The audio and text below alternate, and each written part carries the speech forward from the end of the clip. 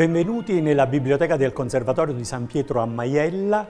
Eh, sono Paolo Giovanni Maione, docente di storia della musica e organizzatore insieme con Antonio Caroccia delle manifestazioni in occasione del 150 anniversario della morte di Saverio Mercadante. Il Conservatorio in questo lungo 2020 così funestato da tante situazioni che hanno coinvolto il mondo intero, non ha mancato di onorare questo grande maestro dell'Ottocento formatosi qui a Napoli, nel Conservatorio di San Sebastiano e poi direttore dal 1840 al 1870 di questo conservatorio. In questi giorni, anzi esattamente il 17 dicembre, data fatidica della morte del compositore, il conservatorio avrebbe inaugurato una mostra qui sue, nelle sue stanze. Purtroppo la mostra è stata allestita ma non è aperta al pubblico, per cui siamo noi a venire nelle vostre case. Il conservatorio invaderà con i suoi cimeli le vostre case raccontando questa storia straordinaria fatta di documenti e partiture, nonché di cimeli che sono custoditi in questo grande museo diffuso che è il nostro conservatorio, ma che non è un museo come voi ben sapete perché è una scuola attivissima. Mi piace avviare questo viaggio attraverso questi documenti con quello che diceva la stampa del tempo in occasione dei funerali del maestro Mercadante. Ieri, fra le 3 e le 4 del pomeriggio, ebbero luogo le esequie di Saverio Mercadante. Il convoglio funebre mosse dalla casa dell'estinto. Era aperta dalle sesta e quinta sezione di musica della Guardia Nazionale. Veniva poscia la confraternita dei musicisti, poi la bara, portata sulla spalla da sei alunni del collegio di San Pietro a Maiella. Su di essa erano lacci, i cui fiocchi tenevano i più noti maestri di musica della città. Seguivano altre bande della Guardia Nazionale e poi un accompagnamento di più migliaia di persone, rappresentanti tutte le classi della cittadinanza, dal musicante di teatro al sonatore, dal giovane letterato al nobile e ricco signore. La pagina continua in questa descrizione di questo commiato della città a eh, Mercadante.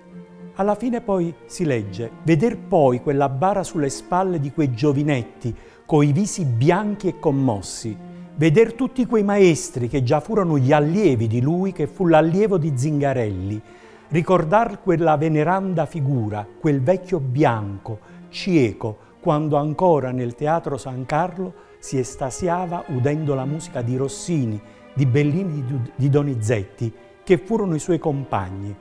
Collegare queste impressioni con le memorie del collegio di San Pietro a Maiella, di quella illustre scuola di Cimarosa di Paesiello, tutto questo insieme, tutte queste immagini suscitate da quello spettacolo per sé, sì commovente, ti facevano piangere. È bellissimo il commiato che viene dato a Mercadante dalla sua città e soprattutto la eh, partecipazione di una popolazione intera a questo momento così drammatico del, della vita del nostro conservatorio. Il musicista era nel Parnaso dei grandi compositori dell'Ottocento.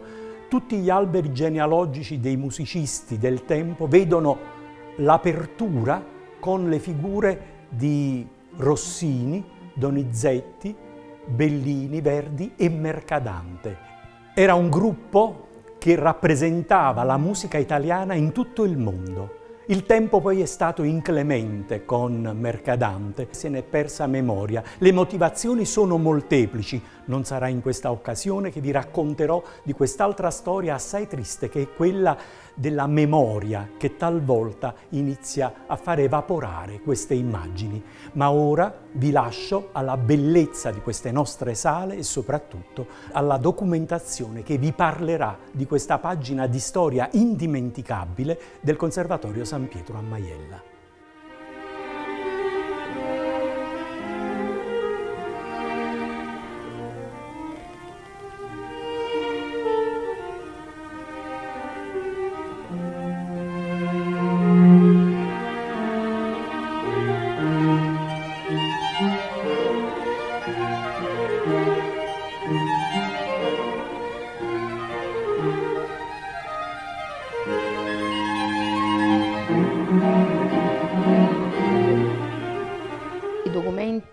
Selezionati dall'archivio storico del Conservatorio di Musica San Pietro a Maiella rappresentano il rapporto simbiotico tra Saverio Mercadante e l'Istituto. Il primo documento selezionato è proprio la copia del piano degli impiegati eh, a partire dal dicembre del 1808. Ci troviamo un anno di distanza dall'istituzione avvenuta del 1807 con decreto di Giuseppe Bonaparte del Real Collegio di Musica. Qui invece abbiamo la um, deliberazione uh, della commissione amministrativa dell'uscita di Mercadante nel 1820 dal Real Collegio. Uh, Mercadante era entrato come allievo di violino. Uh, particolarmente interessante è questo documento che attesta che Mercadante ricoprì ehm, il ruolo di maestrino e di primo alunno di violino. qui abbiamo una certificazione autografa di Saverio Mercadante che eh, certifica di aver distribuito ai compagni di studio um, uh, le corde e le cannucce per gli strumenti a fiato. Uh, dopo la prima vetrina legata agli anni degli studi, la seconda vetrina invece ci accompagna negli anni della direzione, dal 1840 al 1870 e il primo documento è proprio il decreto di Ferdinando II di nomina a direttore uh, del mm, Real Collegio uh, di Saverio Mercadante in rimpiazzo del defunto Don Nicola Zingarelli. la nomina avviene il 17 giugno del 1840 1940. Varie poi sono um, le testimonianze delle onorificenze raccolte nella sua carriera uh, da mercadante. Um, ne abbiamo messe in mostra due, in particolare abbiamo la nomina dell'Istituto di Francia, la Reale Accademia di Belle Arti di socio corrispondente, uh, altro documento, il decreto di Vittorio Emanuele II uh, nel 1861 a Cavaliere dell'Ordine dei Santi Maurizio e Lazzaro. Il percorso percorso si conclude con un documento del municipio di Napoli. Eh, L'allora sindaco Capitelli eh, nomina eh, direttore onorario eh, del Teatro San Carlo per la stagione 1868-69 eh, Saverio Mercadante. Eh, la, le testimonianze del nostro archivio storico ci consentono di ricostruire questi due momenti fondamentali non solo per la storia di Mercadante ma la storia, per la storia dell'istituzione.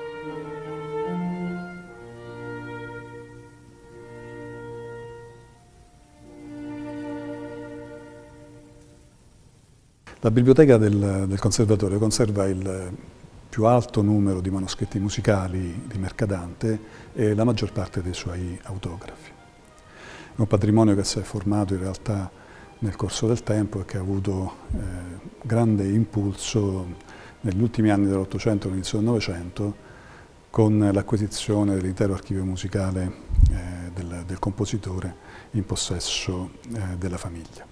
Il, patrimonio della biblioteca è in grado di documentare l'intera carriera di Mercadante. In questa parte della, della mostra siamo soffermati su alcuni momenti in particolare, quello della formazione, eh, la carriera europea e gli anni di Napoli, quindi soprattutto il periodo della direzione di conservatorio. Accanto ai manoscritti musicali sono esposti libretti e eh, figurini teatrali che permettono proprio di rendere eh, visivamente, quindi di, di restituirci un'idea dello, del, dello spettacolo delle opere mercatantiane. La prima teca è dedicata al periodo della formazione. Questo periodo è caratterizzato da una straordinaria prolificità. Eh, si stima che Mercadante abbia composto d'allievo in conservatorio quasi 150 numeri d'opera.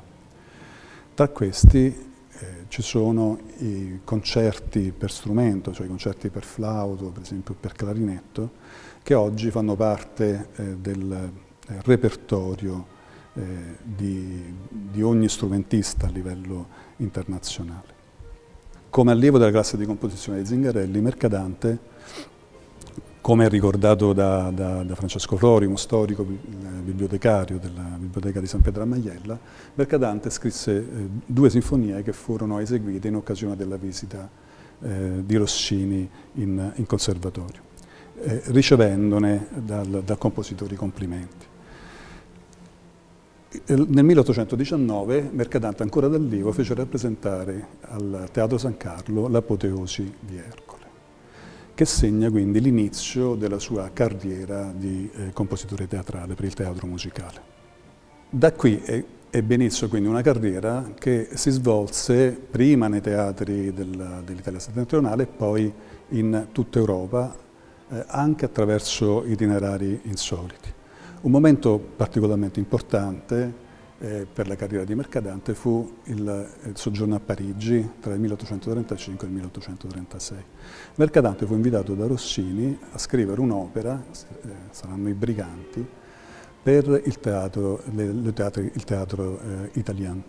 Nel 1840 Mercadante torna a Napoli con l'incarico appunto di direttore del conservatorio e sarà il grande protagonista della vita musicale della città, con l'attività del conservatorio ma con l'attività in teatro dove molto spesso vengono rappresentate eh, nelle sue opere e come direttore dei teatri reali, quindi del San Carlo e del Fondo.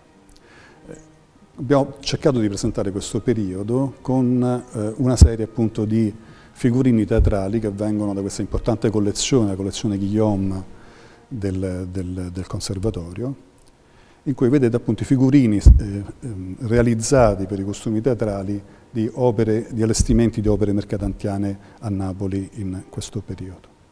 Tra le tante opere scritte da Mercadante in questo periodo Viene qui presentato l'autografo della, della, Vestale, che viene scritta in realtà proprio pochi mesi prima dell'arrivo di Mercadante eh, come direttore del conservatorio, e, e che rappresenta eh, una, una delle, ehm, dei risultati della collaborazione molto importante tra Mercadante e Salvatore Cammarano. Come direttore del conservatorio, Mercadante si dedicò in maniera particolare, oltre all'insegnamento della composizione, all'organizzazione di eh, concerti pubblici e alla formazione dell'orchestra. Orchestra quindi che agiva in questi concerti sotto la direzione proprio di Mercadante. L'orchestra e il coro degli allievi veniva impiegato in circostanze particolari, come appunto eh, avvenimenti pubblici, per i quali mercatante scrisse eh, in numerose occasioni la musica, o appunto nelle, nelle, nelle accademie, cioè nelle stagioni regolari di concerti pubblici che venivano tenuti in conservatorio. Qui abbiamo per esempio la, eh, le partiture del, dell'inno scritto da Mercadante per una di queste circostanze, il convegno degli scienziati tenuto a Napoli nel 1845, oppure l'inno all'armonia scritto per il convegno dei musicisti. In quest'altro caso invece abbiamo eh, partiture scritte da Mercadante per l'attività usuale diciamo, all'interno del conservatorio. Tra le tante composizioni orchestrali scritte da Mercadante per queste occasioni, la selezione cade sul Lamento del Bardo, che è stata eh, scritta da Mercadante nel 1862. Si tratta di una ehm, sinfonia molto particolare perché eh, nel 1862 eh, Mercadante perse del tutto la vista eh, divenendo cieco. E questa sinfonia fu scritta proprio, e lo dice lo stesso nome, il Lamento del Bardo, eh, in questo tipo di, di situazione anche psicologica in cui il compositore si trova. Come dice lo stesso Mercadante, qual ritratto di mia sventura. Da questo momento in poi Mercadante cominciò a eh, inaugurare questa forma di eh, modo di comporre la propria musica dettandola ai, ai suoi allievi. L'ultimo manoscritto esposto riguarda la Caterina di Brono, cioè l'ultima opera che Mercadante sta scrivendo e che lascerà, eh, dettandola appunto agli allievi, e che lascerà incompiuta.